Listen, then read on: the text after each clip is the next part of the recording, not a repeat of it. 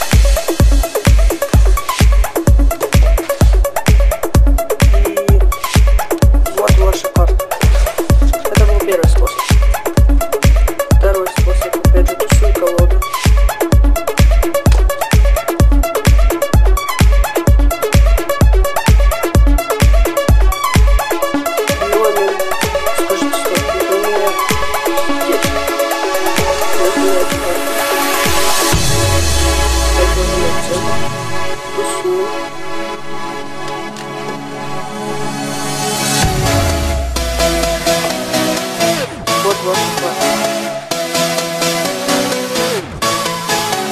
И второй способ, точнее третий.